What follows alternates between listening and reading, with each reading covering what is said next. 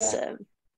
Cool. Well, hi everyone. Happy New Year. Thank you so much for joining Joyce and I um, today. It's really great to see um, all of you uh, with us. It's making January um, a lot more enjoyable to see you all here and really hope that you're all doing well.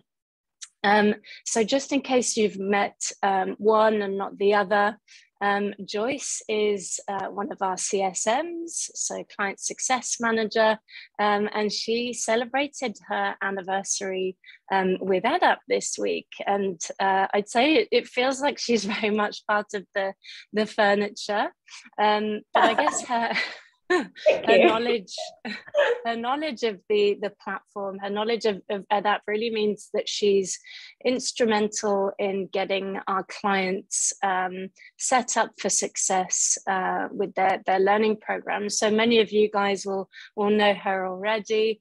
Um, and I'm the uh, client success uh, lead for for APAC but I'm very much here to assist only today. This is going to be um, Joyce um, going through a, a, really cool live demo on one of our um, newest exciting features that uh, recently came out, our, our PowerPoint converter. Um, just another heads up as well that we've got uh, the rest of the team that's with us in the chat. Um, George that recently joined us, you have Jenny and Lizzie as well. So feel free to, to jot any questions or comments down in the in the chat or the Q&A um, and either the team will, will get to those questions within the chat or we can answer them um, live at the at the end. We'll, we'll leave a bit of time for um, some, some questions and answers. So um, today we're going to be um, talking through some of the really exciting um, new features for 2022. Some of these are out now already. Um, some of these are, are, much anticipated. I'm sure you've heard of them already. You've been requesting them, um, and we really think that they're going to be uh, game changing for your for your programs this year.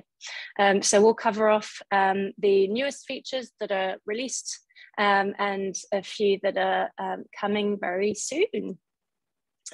Um, so this one starts us off quite nicely because um, it's really an improvement that's been made to the um, very first uh, step in the learner journey.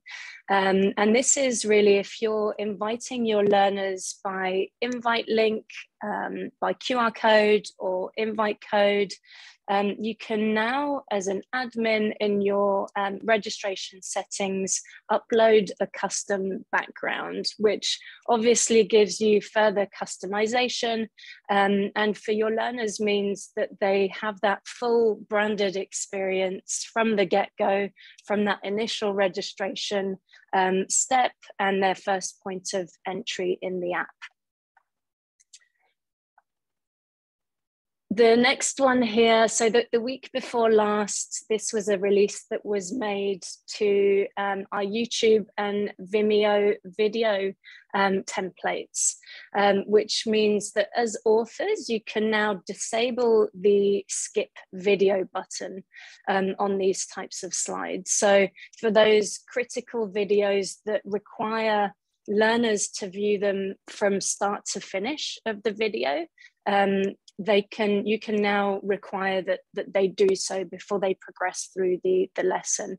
So you can do this um, when you're adding a, a, youtube or vimeo slide within your lesson you can do that by deselecting this button here. So the always skip um, always show skip button. And this was a, a, request that we've heard a lot. So small win but um, should should be um, should be quite an improvement there to, to those slides um, next up, so is uh, this is improved analytics performance. We're now happy to say that the data um, on these reports um, refresh um, every, or they, they, they take 30 minutes to refresh. So within that 30 minute um, time frame, and that's on these reports here. So the CCBU the manager CCBU, and that's course completion by user, um, course summary page, the manager dashboard, as well as the performance dashboard.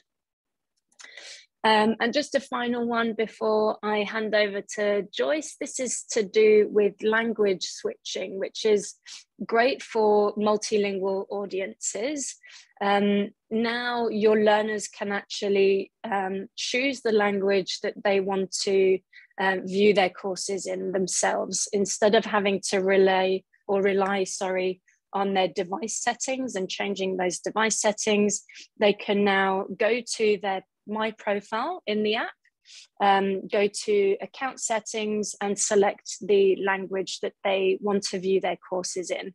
And this is provided, of course, that the course um, you have translated into the language that they want to view it in. So it still would need uh, to be translated in the admin portal, um, but this should be a really great one if you've got um, if you've got different different learners, um, yeah, that that have the the joy of uh, speaking different languages.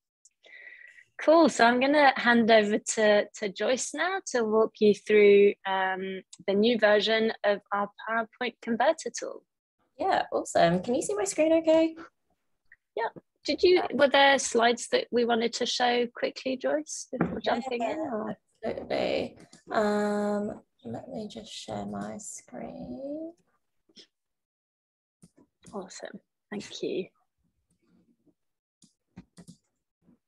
Cool. So previously we did have a PowerPoint converter and just based on some feedback that we got from you guys, we made some enhancements that I'll show you as I demo through it. But this will really allow you to upload your PowerPoints a lot faster and just reorganize them before you actually start using our authoring tool and adding some interactive slides and making them very adapt and a lot more interactive. So let me just um, start that demo now. Um, so you guys are fairly familiar with the admin portal. If I actually click this convert PPT button at the top here and then click immediate conversion, I can click next. And this is where you would upload your file. I might just drop and drag it into here and let that load. And then I can press submit. And this is where it's quite different. So previously we would just convert it into a lesson for you and it would all basically be the same scrollable template. So now it's a lot more adaptive and we've given you some suggestions based on the type of slide that we looked at for the PowerPoint slide here. Um, this one might be a better example actually. So this one has the original slide that you can see. You can see that's got quite a lot of text. So it's um, suggested a title slide, expandable, a review, um, or scrollable, and then a simple image one. This one can be for fairly complicated slides where um, it might just have a lot of imagery or something like that. So you can actually take it, just how it works is just takes a screen cap of it and then uploads it as a simple image. Obviously, you can see that the PowerPoint itself was formatted a bit funny. So I might go ahead and actually change that to a scrollable one. And then you can work across all of them down here and you might just delete ones as well if you don't think that it's important anymore. Um, further, I can add new lessons and also just um, break them up into different lessons. So we all know that micro learning principles, you want to have digestible ones. Typically, we have seen PowerPoints be super long, like 20 plus slides. You want them to be bite sized. So I might go ahead and then break this up. So I think let's break this up here and then rename the slides uh, the lessons rather, and then you can actually go ahead and pick slides that you want to move over to the next lesson. So I might just quickly go ahead and do that. And Bri, if I actually miss any steps, do let me know because we all know. Oh, you're doing amazing so far. What a good author. I should quit my job, and become an instructional designer. Um, cool. And then I'll probably move it over to the next slide. Um, and then once you're happy with it, I might just reorder it actually because it might fit a bit better in terms of the micro learning. And then I can actually just go ahead and edit the content. And then this will actually take you through to the very familiar authoring tool that you guys have. Um, and again, you can drag and drop the order of it as you please here. And then this is where you might want to go ahead and um, add a interactive slide or a survey um, as per again our micro learning principles. You want to make it as engaging as possible for your learner. And you also want to potentially collect feedback from your learner on how the lessons are going so that you can improve as a trainer as well. Uh, let's use just a simple multiple choice slide and I can rename it, you know, do you think it's important? And then I can randomize it and I'll select true as the correct answer. And then once you save it, uh, you've got your two lessons in there all organized and uh, you can go ahead and add any additional bells and whistles to it um, and add your learners, but I might go ahead and quickly add a course setting. Um, let's add a logo here and then maybe brand it a tiny bit. Might add a brain and then publish. And also, if you aren't aware already, we do have a um, slight enhancement on the course logos as well. So typically you have to go to the course to upload a logo, but uh, now if you actually want to apply it on the account level, so you don't have to apply the same logo to every course, you can do it within the app settings. So I might quickly actually show you that. You go to app settings, you go to content, and then you can add a default course logo. And then once you upload that, it would apply to all of your courses that don't already have a logo. But if you actually want to override that, you can just go into the course settings as I showed you before, and then that would override that default course logo. Fantastic. Well. Yeah, one of those small wins that is a bit of a, a time saver. Yeah, absolutely. Um, any questions so far that I can see? Um, so no. far, I think I think good. we're good.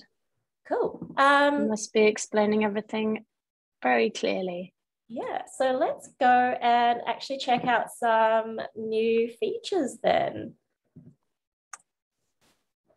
Um, cool. So I will share my screen, um, but I think Joyce, you're going to talk through these exciting features that are coming soon. I will indeed.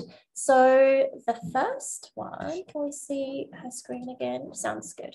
Uh, the first one is the certificate download. So we've heard a lot of feedback from you guys that you guys want to actually be able to access your learners uh, certificates. It might be for compliance purposes or to be able to provide it back to auditors and whatnot. So we have listened to you and the first slice will allow admins to download certificates individually for their learners.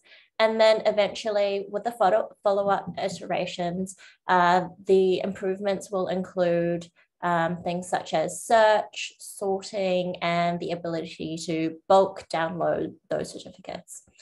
And with the enhancements that we're making as well, the certificates, they won't consider assignments or enrollment rules. So, in other words, only certificates that have been earned um, will show up in the table and they will show up regardless of whether the course or the user has been archived. And that will be due to be released around the end of the month or towards the beginning of next month.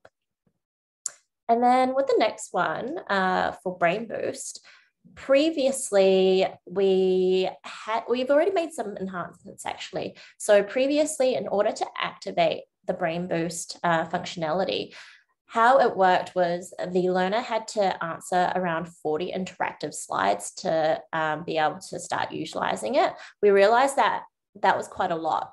And so now it only takes one question to be answered in order in order to activate this space repetition feature um, we do have a release date to have the analytics be uh, fully rolled out around the mid uh, of next month. And um, for the curious as well, Uh, we do have some really interesting stats off the back of the app release last year in December. So over 10,000 people began a brain boost session since our enhancement in December.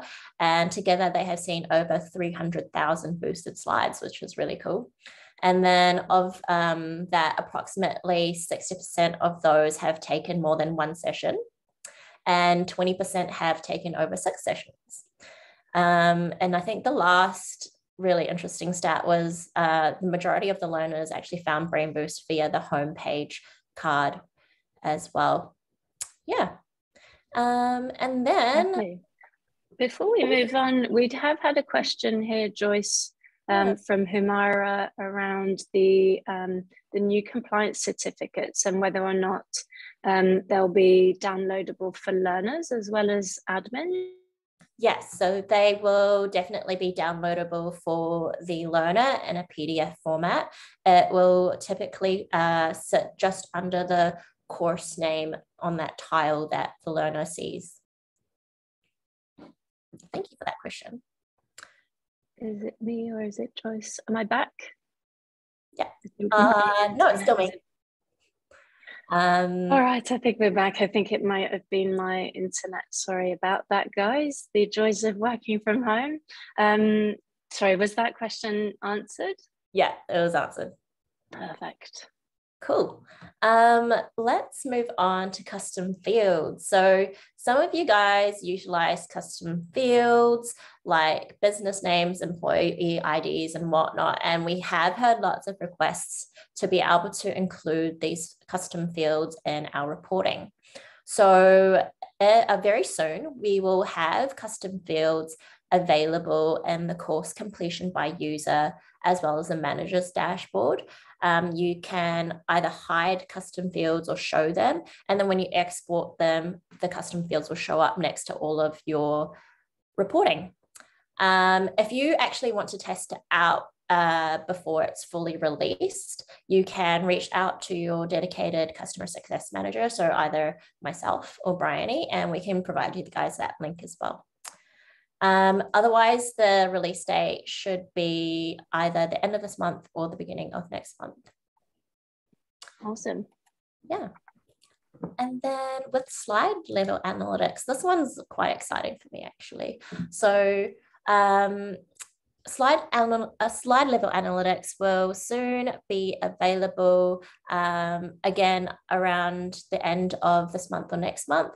And it will be available in your performance dashboard. So when you kind of click into the course, you can drill down into your course, then you can drill down into your lesson, and then you'll have the slides there, and then you can actually see how the user answered on those specific slides. So uh, if it's an interactive slide, you might be able to see that Devon um, spent 15 seconds on that slide. The first time that they tried to answer it, um, whether they got it correct or not. And then if you've actually allowed them to be able to repeat lessons, you can also see the latest answer that they uh, answered as well and whether they got it correct or incorrect.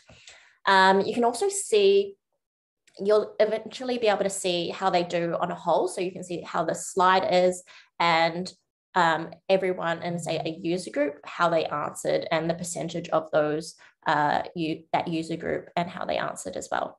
We do have the beta link available for you if you want to test it out as well. Um, and just a few caveats that I do want to uh, iterate here. So with the slides, um, there are supported slides, um, which will be the concept slides, the multiple choice slides, the number slides, and the relationship slides that we will track and we will start collecting the data for those slides um, around, I think, the end of December. So if you have completed the lessons kind of before that, um, we wouldn't have collected the data on that. Oh, thank you, Joyce. Yeah, those two are really exciting. And again, if, if you're keen to get your hands on those uh, beta testing links for the custom fields and the slide level analytics, just give us a shout and um, we'll share those with you. Obviously, we're, we're really keen to hear your feedback before it gets released. Awesome. So I guess these next features, um, last but not least, really, because uh, I'm sure that they're quite high on your um, list of, you know, anticipated features as well.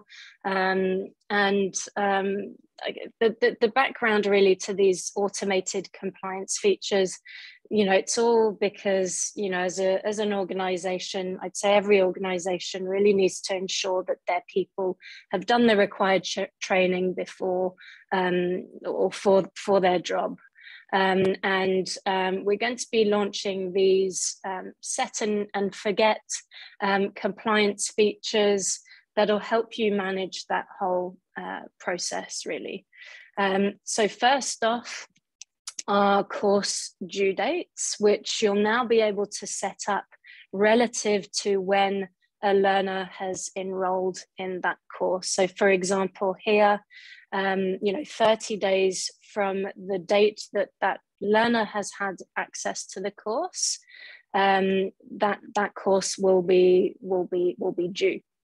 And then admins will also be able to um, set expiry dates for courses. So in this example, um, 12 months after that learner has uh, completed the course, that completion will expire, um, and then they'll have to uh, do the, the refresher or the recertification we often hear, um, and, and that should help with that.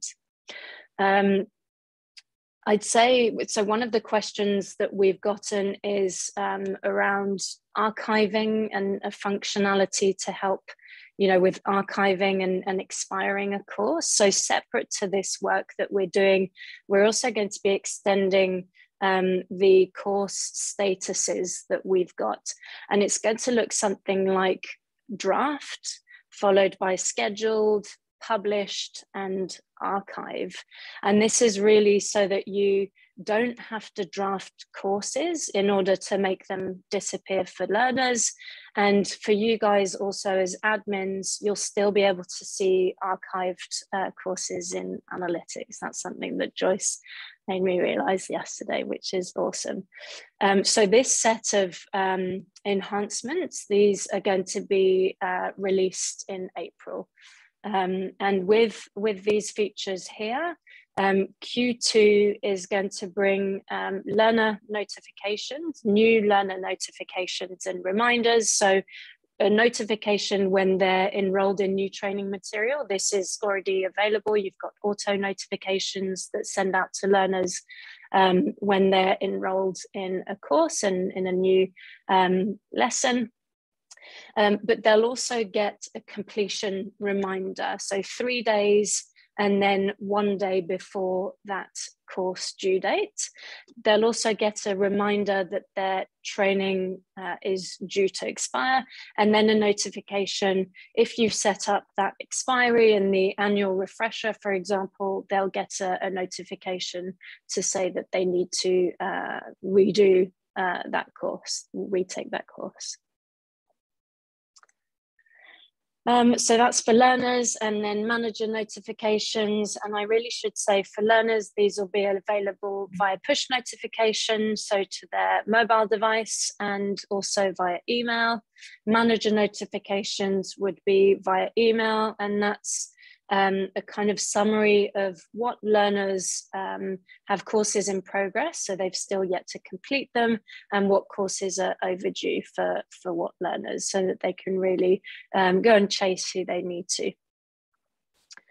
Um, and finally, um, just in terms of proof of, of, compliance, we're going to be adding the expiry date to uh, the completion reports um, which hopefully should be sufficient for most of um, your you know compliance auditing purposes. So you'd now have, as well as the um, the date of completion, you'd get the date of expiry. But we're really keen to hear your feedback on this and um, if that you know coincides with your needs. So um, give us a, a shout on that. Keen to to hear your thoughts.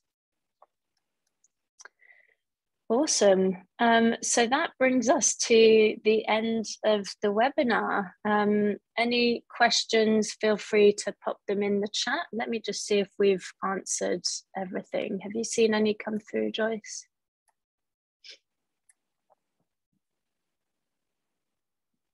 Oh, you're, you're on mute. We actually do have a few questions. Um, the first one is from Doug.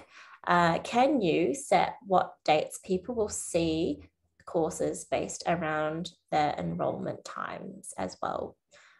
Do forgive us if we don't immediately know the answer. We can definitely check with the product team to just really find out those little finicky details and then get back to you on that. Um, do you happen to know the, the answer to that one, Bri? I, yeah, I think that's something that we'll have to check with the the product team on that. Um, yeah, not not too sure yes on that Oakley doogly.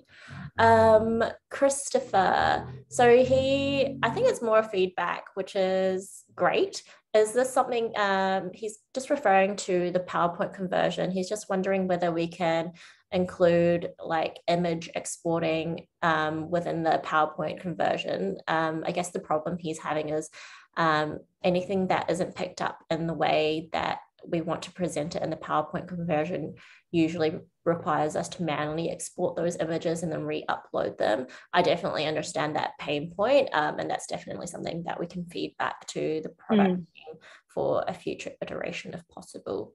Yeah. Um, anyone else experiences that issue, do let us know. Yeah, and it's something that was heard on the um, the US version of this this webinar earlier today. So um, yeah, good good to hear that it's um, something that's um, across a few clients as well. So that will help us feed back to yeah the product team. Yeah, awesome. Uh, Matt, he asked, can the expiry date function be used to automatically specify a time frame for completion where the course becomes unpublished, stop sending reminders after a certain period? Mm-hmm. Yeah, again, I think that's something that we, um, yeah, that we probably need to double check with the product team. Um, yeah. yeah. I think it'll definitely stops uh, expire after a time frame. It's just whether the t- reminders will stop. I, I feel like it should, but we can definitely yeah. Check. Yeah, I um, think yeah. yeah. Confirm. Cool. And then with Adam, hey, Adam, uh, will you be providing a verification of competency assessment practical verification? That's the observations tool, if I'm guessing correctly, Adam, because I know we've chatted about this before. Uh, we will be providing that. Um, do you happen to know the timeline on that, Bri? Um, so I think it is Q2. Yeah, we didn't include that on um, on this version of the, the webinar, but it is of course in the in the works and it's top um, top priority for for the for the new features list. Um, yeah. I do remember the last time I spoke with our head of product, he did update me and say uh, he said that we're building out the MVP, which is the minimum viable product at the moment. Mm-hmm yeah Cool. Um, I've also had a question here on um, whether admins will be able to set specific reminder dates of their choosing rather than just the defined, you know, three days before due date or one day before the due date. Um, and it, for the for the first iteration anyway, it's likely to be a set duration of within seven days, but um, yeah, keen again to hear your your feedback and if there's you know large interest from from customers to have this as a as a custom reminder date, then um, let us know again on that. Yeah, I think usually the idea is we want to be able to provide you guys that functionality, but we don't want you have to think too hard. So we try to make things as automated as possible. But if you do really want to manually uh, input those functions, let us know. Yeah. Awesome. Awesome. I think that was it for questions. Um, yeah, any any others that you can see from your side, Joyce? Um, obviously, if you've got um, any specific feedback or any other questions that come up at all, um, reach out to Joyce and I to um, yeah feed feedback anything that that, that you want and um, yeah we'll be we'll be delighted to hear that or mention it during your upcoming call with us. Um, we'll be touching base with you all soon. Um, and just another reminder as well that you've got access to our um, really friendly support team now, which has be which is growing. We've got a, a, a dedicated support function now. So if um, you need, if you ever need immediate support and can't, can't get a hold of Joyce and I, um, then feel free to email them. You can visit the support site as well, or message them over live chat. Yeah. And um, I do want to um, say that as these features get released, I will definitely be updating the support site to include step by step guides, um, just explaining the new features as well. And um, it'll, it'll just be good for those people who prefer to follow along to a document rather than follow a video. Awesome. Thank you, Joyce. Um, so yeah, thanks everyone for, for joining again and um, really looking forward to seeing how these features can benefit your program this year. Thanks everyone. Have a great weekend ahead. Thanks guys. Happy Friday. Enjoy your weekend. Thanks, Joyce.